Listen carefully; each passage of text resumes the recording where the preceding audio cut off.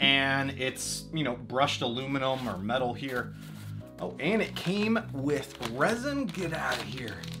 Came with a really small bottle of resin. That's awesome. Hey everyone, Uncle Jessy here. Inside this box is a $100 resin 3D printer off of Amazon. Let's get it unboxed and check it out.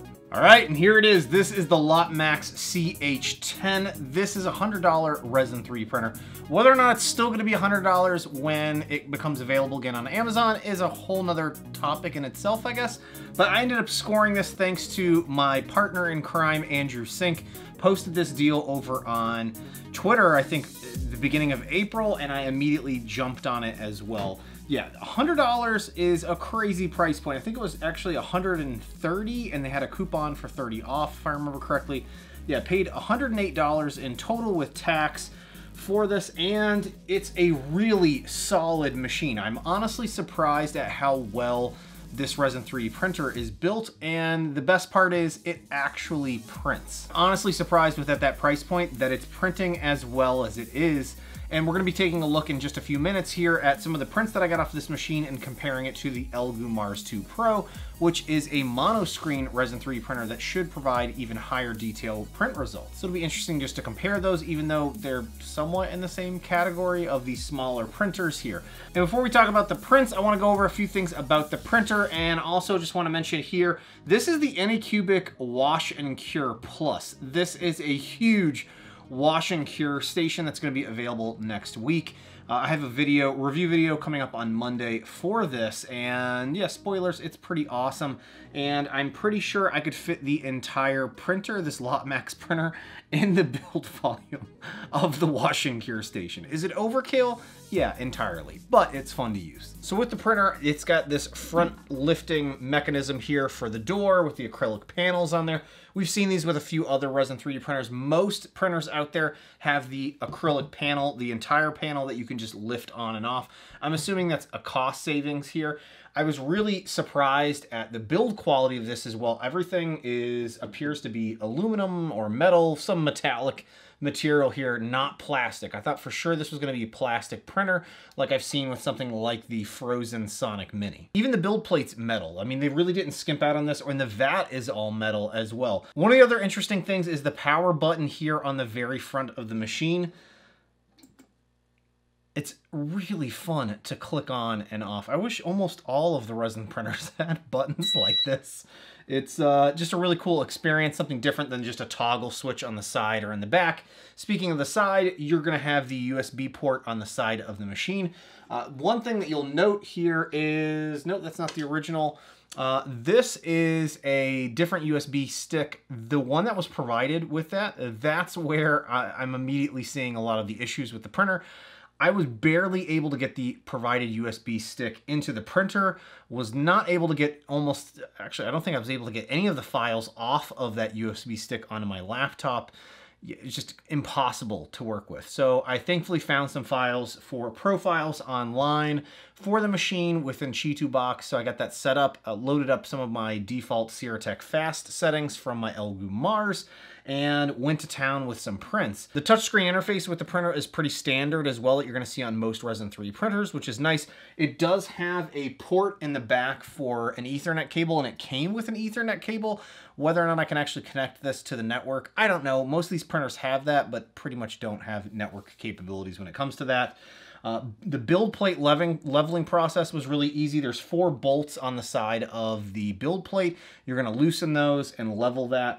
Uh, where you're gonna run into some difficulties is tightening those inside of this case, it was really hard for me to maneuver the Allen wrench in there with my hands and actually be able to properly tighten the build plate within all that build plate leveling process. I did end up having one failed print as well because I just went off and printed without leveling it at all. And then I had a few successful prints here like this deer that file that was one of their test prints as well as a, uh, a test ring print, but as soon as I tried to print anything else that I loaded up there that I sliced, it did not work properly. But thankfully leveling that build plate solved all of my issues. Because I don't remember what the dimensions were of the machine, uh, it has a build volume of 68 by 120 by 155.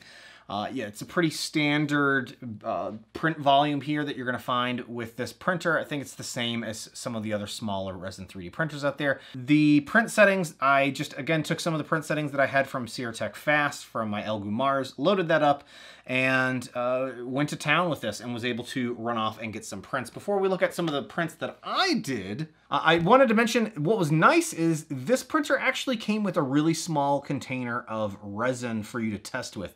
Very few printers these days come with resin for you to run any test prints with. And I was just really happy to see that. And all of the files that I printed from the uh, SD card there, printed great with this particular resin. Uh, the deer did have a little bit of layer shifting issues, and I'm not sure what the heck was going on with that.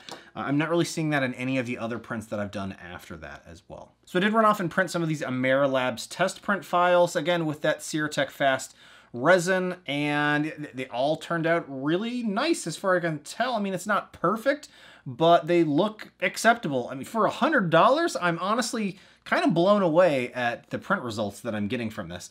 I also printed a few miniatures from Loot Studios. I am just on a big Loot Studios kick with their files. All of them come pre-supported, which makes my job of selecting files and loading them up to print so much easier.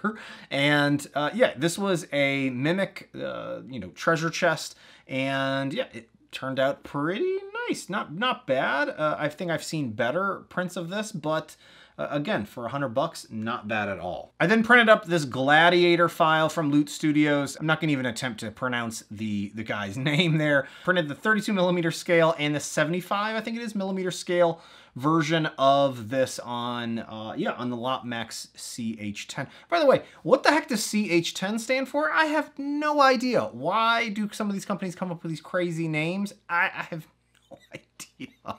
no idea because it's not helping me remember what the hell they're called. But again, the detail on these, I think, turned out really nicely. I'm going to pull up on screen as well and do a side-by-side -side comparison of the Lotmaxx prints compared to the Elegoo Mars 2 Pro prints from the exact same files.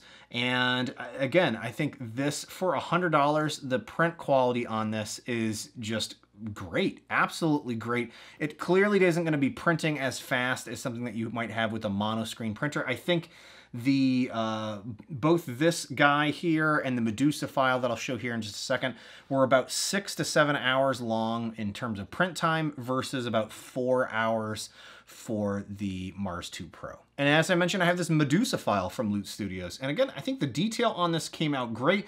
One thing that I wanted to try and point out that I'm not sure if the camera's gonna pick up, but even on the, the snake on the front of her, her head there, you can see like the mouth opening. I'm surprised it was able to capture some of the details there. The Again, everything at 0.05 millimeters is coming out great on this machine. This is really a pleasant surprise, especially for a $100. I would say if you have a $100 to spare and this thing is available and it's still at a $100 on Amazon, buy it. It's a great machine, especially if you're interested in just getting started in resin 3D printing and looking to spend as few amount of dollars as possible. I honestly have no idea what the support is like for this machine or what the interaction with Lotmaxx is like. Uh, I'm sure they're a pleasant company as well, but uh, yeah, the machine runs great. It's built crazy solid, and I mean crazy solid. I was a little surprised at how heavy it was. I was really expecting a plastic machine, and it's all metal. And most importantly, it's printing, and printing well. It's a really nice surprise compared to, what was it, like a year plus ago when I did the Monoprice Mini and it was just a slight disaster with that printer. If you are interested in picking up one of these, I'll have links down below where you can find that over on Amazon. I have no idea if this is gonna be back in stock from them any point soon, if it's gonna still be $100 or if it's gonna be $200, I honestly have no idea. But I found this good deal thanks to Andrew. Thank you, Andrew. Uh, I believe he's gonna be working on a video on this as well. And again, just pleasantly surprised to see it's actually printing, so I'm gonna be running some further tests on it. Oh, one other thing. Uh, we're really big on the ResinLapse as well. There is surprisingly no easy way to connect that cable into this machine. So I think I'm gonna have to drill a hole in the back of this machine to get access to the light panel. They've actually designed this pretty well where I can't see any of the light leaking out where you can typically see that with a lot of the other Resin 3D printers, which is great for us because it makes it easy to plug that cable in somewhere. Hey, thanks so much for watching you guys. If you're interested in more about the machine, again, I'll have links down below. If you're interested in Loot Studios, have links to them as well. Hey, thanks again for watching. If you haven't already, consider subscribing and I'll see you next time. Bye now. Power cable, uh, Ethernet cable, that'll be interesting. Some filters, uh, Allen wrenches, the USB key, uh, little spatula here. Here's a paintbrush, a plastic spatula, some gloves, power adapter. Nice, and it came with some extra FEP sheets as well. At a quick glance, it's really nice build quality on this machine. I was expecting this to be all plastic, and it's, you know, brushed aluminum or metal here. Oh, and it came with resin. Get out of here. Came with a really small bottle of resin. That's awesome. Packaging is really nicely put together to hold everything in place. Here is your build plate. It is a metal build plate as well. Man, I really thought they would have put a lot of plastic on this, and so far, not a lot of plastic. The bolts that hold the build plate down as well as the vat are plastic.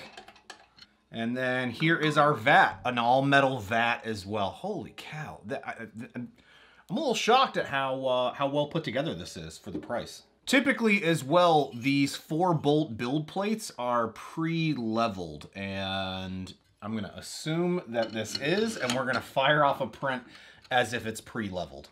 Also, the beautiful thing about Resin 3 printers is the unboxing and setup process is just pretty much getting it out of the box and plugging it in, pouring in some resin, and firing up a print. I couldn't figure out how to turn this thing on. It's the big power button on the front of this. Touchscreen display, like on a lot of the other Resin 3D printers. Pretty much the same interface as well. First prints a go. I'm also fairly surprised at how quiet the printer is as well. It also has this great lifting top here that you might see on something like the Anycubic Photon or a few of the other Resin 3D printers that are out there. Uh, funny enough, I'm not a huge fan of this, but over the years, I'm becoming more warmed up to the idea just because it has a nice handle pre-built onto it and it prevents me from touching any of the acrylic displays here to help keep it nice and clean.